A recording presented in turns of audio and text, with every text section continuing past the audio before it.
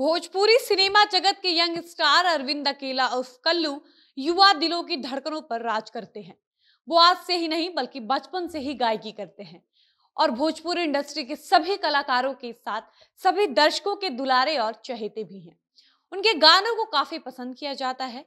इसी के साथ ही एक्टर अपनी पर्सनल लाइफ की वजह से भी काफ़ी चर्चा में रहे हैं। पहले उनकी शादी के चर्चे खूब रहे हैं, किसी न किसी के साथ उनका नाम जुड़ता रहा है और अब उन्होंने सभी खबरों पर विराम लगा दिया है। ऐसा हम इसलिए कह रहे हैं क्योंकि कल्लू ने शिवानी पांडे के साथ शादी कर ली है। इनका वैवाहिक कार्यक्रम 26 जनवरी को ही हुआ है। इनकी शादी की फ़ोटो सोशल मीडिया पर सामने आ चुकी है। तेज़ी से वायरल भी हो रही है। आपको बता दें कि भोजपुरी के युवा गायक और एक्टर कल्लू की शादी बनारस से हुई, जहाँ भोजपुरी के कई सितारों ने अपनी उपस्थिति दर्ज कराई। लगाई दी चोलिया के हुक राजा जी और नाच रिपतर की जैसा गाना देने वाले एक्टर अरविंद अकेला कल्लू शादी के बंधन में तो बंध गए, लेकिन आपको बता दें कि उनकी शादी के पहले इंडस्ट्री में इस बात की कोई सुबगाहट भी नहीं थी। ऐसे में कल्लू को छुपा रुस्तम भी कहा जा रहा है। हालाँकि शादी हो जाने के बाद हर किसी को इस बात का इंतज़ार था कि कल्लू अब रिसेप्शन कब और कहाँ देंगे। तो आपको बता दें कि कल्लू ने अपनी शादी का रिसेप्शन 28 जनवरी को बनारस में दिया, जहाँ उनको आशीर्वाद देने के लिए भोजपुरी के तमाम कलाकार पहुँचे थे। आपको बता दें कि कल्लू के रिसेप्शन पार्टी में भोजपुरी अभिनेत्री अक्षरा सिंह, आम्रपाली दुबे, भोजपुरी के जुबली स्टार दिनेश लाल यादव उर्फ़ निरहुआ, भोजपुरी के देसी स्टार समर सिंह, राकेश मिश्रा और रितेश पांडे भी आए थे। इन सबके बीच एक खबर सोशल मीडिया पर चर्चा का विषय बना हुआ है कि पवन सिंह के सबसे करीबी माने जाने वाले कल्लू की शादी में भोजपुरी के पावर स्टार पवन सिंह क्यों नहीं आए? साथ ही खेसारी लाल यादव भी कल्लू की शादी और रिसेप्शन में दूर दूर तक कहीं नज़र नहीं आए। तो चलिए हम आपको आगे की वीडियो में विस्तार से बताएँगे कि भोजपुरी के ये दो बड़े सितारे अरविंद अकेला उर्फ़ कल्लू की शादी में आखिर क्यों नहीं आए? लेकिन उससे पहले नमस्कार, मेरा नाम है डॉली पांडे, मेरे साथ हैं कैमरामैन विशाल और आप देख रहे हैं झमाझम भोजपुरी। भोजपुरी के युवा गायक और अभिनेता अरविंद अकेला उर्फ़ कल्लू की शादी 26 जनवरी को बनारस से होनी थी, लेकिन इस बात की जानकारी भोजपुरी की किसी भी कलाकार को नहीं थी और न ही इस बात की कोई चर्चा सोशल मीडिया पर थी। लेकिन अपनी शादी के चार पाँच दिन पहले अरविंद अकेला उर्फ़ कल्लू भोजपुरी के हिट मशीन खिसारी लाल यादव से इंस्टाग्राम पर लाइव में बात करते हैं और उसी बातचीत के दौरान खिसारी लाल यादव, अरविंद अकेला उर्फ़ कल्लू को उनकी शादी के पहले ही इशारों इशारों में बधाई देते हैं। हालाँकि तब भी किसी को कल्लू की शादी का कोई संदेह नहीं होता है। उसके बाद कल्लू की शादी हो जाती है। कल्लू की रिसेप्शन भी बनारस से संपन्न हो जाती है।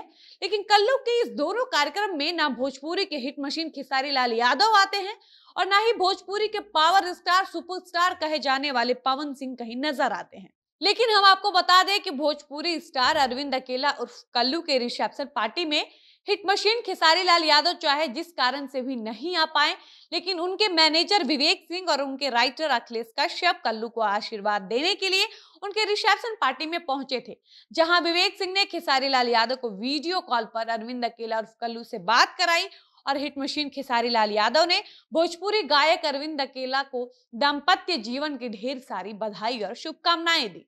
उसके बाद कल्लू ने कहा कि आप लोग एक बार भोजपुरी के सुपरस्टार खेसारी लाल यादव के लिए ताली बजा दीजिए। वो आ तो नहीं पाए, लेकिन वीडियो कॉल के माध्यम से ये अपना ढेर सारा प्यार और आशीर्वाद दे रहे हैं। उसके बाद कल्लू कहते हैं कि एक बार चौबे परिवार की ओर से, ब्राह्मण परिवार की ओर से, यादव परिवार के अभिनंदन स्वागत में जोरदार ताली बजा दीजिए।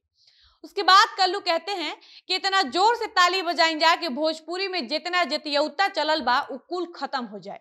उसके बाद स्टार अरविंद अकेला और कल्लू भोजपुरी गायक रितेश पांडे को भी स्टेज पर बुलाते हैं और रितेश पांडे भी भोजपुरी के हिट मशीन खेसारी लाल यादव से वीडियो कॉल पर बात करते हैं और रितेश पांडे भी कल्लू को नए जीवन की शुरुआत की ढेर सारी शुभकामनाएँ देते हैं। इन सबके बीच जो एक बात गौर करने वाली थी वो ये थी कि रितेश पांडे जैसे ही स्टेज पर आ रहे होते हैं, वैसे ही कल्लू रितेश पांडे के लिए कहते हैं कि ब्राह्मण आ रहा है। कल्लू बार बार खिसारी लाल यादव और रितेश पांडे से बातचीत के दौरान ब्राह्मण शब्द पर ज़ोर दे रहे थे, जो इस बात का इशारा था कि कल्लू खुद ब्राह्मण है और ब्राह्मणों की बहुत इज़्ज़त करते हैं। क्योंकि इससे पहले भी खेसारी लाल यादव और कल्लू एक दूसरे से जब लाइव में बात कर रहे थे तो खेसारी लाल यादव ने भी कहा था कि आप भले ही उम्र में हमसे छोटे हैं, लेकिन आप ब्राह्मण हैं, इसलिए हम आपकी इज़्ज़त करते हैं। अब इन सबके बीच जो बात सोशल मीडिया पर चर्चा में बनी हुई है, वो ये है कि एक वक्त था जब अरविंद अकेला उर्फ़ कल्लू भोजपुरी के पावर स्टार पवन सिंह के सबसे नजदीकी माने जाते थे, लेकिन कल्लू की शादी में पवन सिंह दूर दूर तक कहीं नज़र नहीं आए। हालाँकि खिसारी लाल यादव भी कल्लू की शादी में नहीं आ पाए थे, लेकिन वीडियो कॉल करके उन्होंने कल्लू को शुभकामनाएँ दी। लेकिन पवन सिंह ने ना कल्लू को वीडियो कॉल करके बधाई दी और ना ही सोशल मीडिया पर कोई फ़ोटो शेयर कर शुभकामनाएँ दी।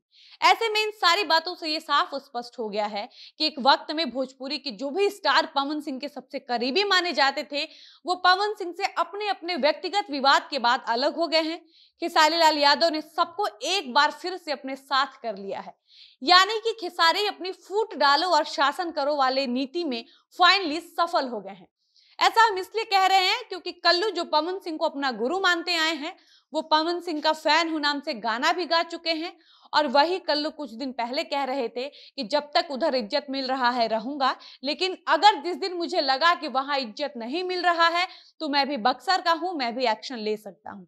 और मुझे भी बहुत कुछ सुनाने आता है। आपको बता दें कि कल्लू ने ये सारी बातें कहीं ना कहीं पवन सिंह के लिए कहा था। और ऐसे में 26 जनवरी को कल्लू की शादी थी।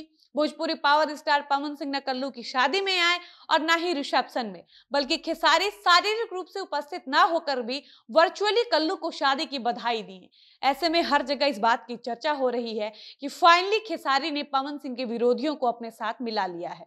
और यही कारण था कि पवन सिंह, अरविंद अकेला उर्फ़ कल्लू की शादी में नहीं आए। बाकी आप इस पर क्या राय रखते हैं, हमें कमेंट बॉक्स में कमेंट करके ज़रूर बताएँ। फ़िलहाल इस वीडियो को यहीं पर समाप्त करते हैं और मिलते हैं ऐसे ही किसी नए वीडियो के साथ। तब तक मुझे इजाज़त दीजिए। धन्यवाद।